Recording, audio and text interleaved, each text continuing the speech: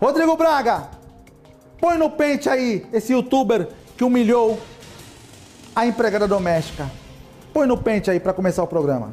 Até que enfim, limpando meu banheiro, graças a Deus. Porque, filha, essa faxina que tu ganha dinheiro com a cara, viu? É, é 130 essa faxina. Ô, filha do teto, cara, 130 reais.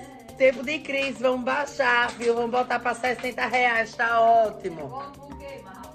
Oxe, 130 reais, tartuera foi nova, princesa. Agora essa de 130 reais é três dias, né? Não, é um dia só, em Aracaju é 130. Essa aqui é. Sim, linda, mas aqui, aqui em Aracaju, aqui em Itabaiana, Sergipe, Brasil. Aqui é quatro banheiros. Ela vai gastar uma água sanitária só nesse banheiro.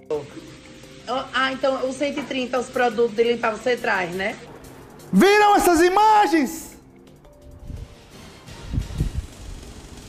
Esse rapaz que se diz um, um influencer digital com milhares de seguidores no Instagram teve a petulância, a arrogância de tratar essa cidadã que limpa a casa dele como se fosse um nada. E essas imagens exclusivas, elas são presenciadas em todo o Brasil, de norte a sul do país, com empregadas domésticas sendo maltratadas,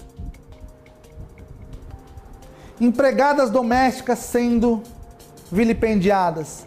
O caso mais recente foi do marido de Ivete Sangalo, que disse numa live, todos devem saber, com Regina Casé, apresentadora da Globo, que possivelmente pegou o Covid da sua empregada, da sua cozinheira.